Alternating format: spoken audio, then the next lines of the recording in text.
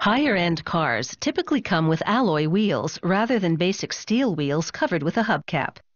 Called mag wheels because when they first came out they were made of an alloy of magnesium, today's alloy wheels are made of an aluminum alloy, which is far more durable. Aluminum alloy wheels are not only more attractive than standard steel wheels, they're also a fraction of the weight, and therefore require less energy to rotate. This contributes to greater fuel efficiency, as well as better handling, acceleration, and braking. Manufacturing them begins with high-grade aluminum alloy, containing 97% aluminum. A furnace heats the ingots to 750 degrees Celsius. They liquefy in about 25 minutes. The molten aluminum then flows directly to a mixer, in which they inject argon gas, which enables them to remove the hydrogen. This increases the density, making the aluminum less porous when solidified.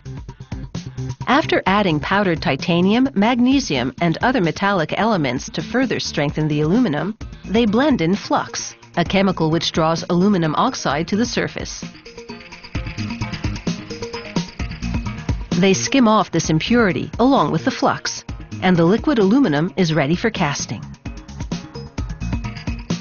The wheel mold is made of high-strength steel.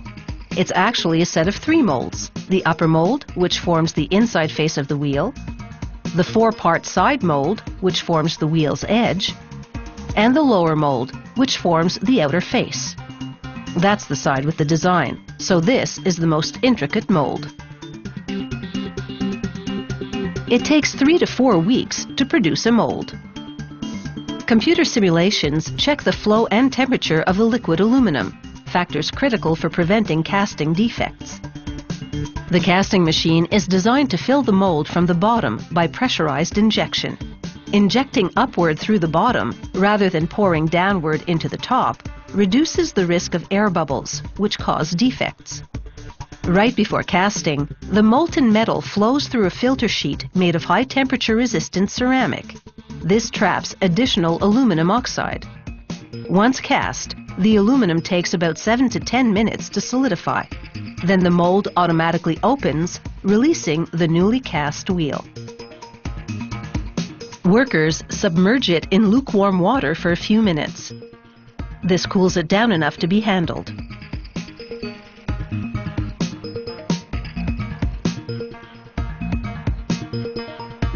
The wheel undergoes a complex heat treatment process that takes 12 hours from start to finish.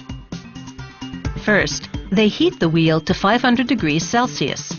This rearranges the molecular structure, strengthening the metal.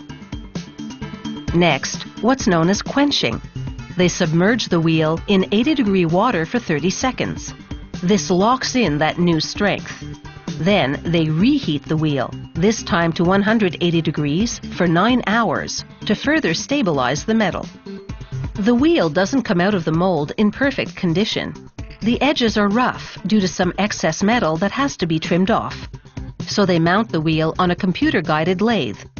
It precision machines the sides, refining them to within 0.05 millimeters of the measurements specified in the technical drawings.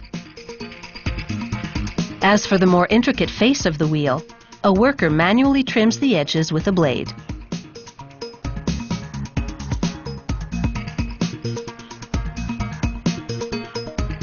The shape now finalized, it's time to test the wheel to make sure it's airtight. While pumping air into the wheel, they submerge it in water. Should any air bubbles appear, it would mean there's a pinhole in the metal or some shrinkage in which case the wheel would fail inspection. No air bubbles, the wheel proceeds to the automated painting line. First, a base coat, then a coat of color, which can be anything from classic silver or black to a flashier shade. Then a clear coat to protect the paint and prevent corrosion.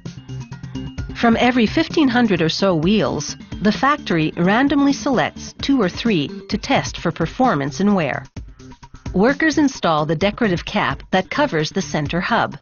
It typically bears the specific brand's logo. Then, a final cosmetic inspection to make sure these aluminum alloy wheels look as good as they perform.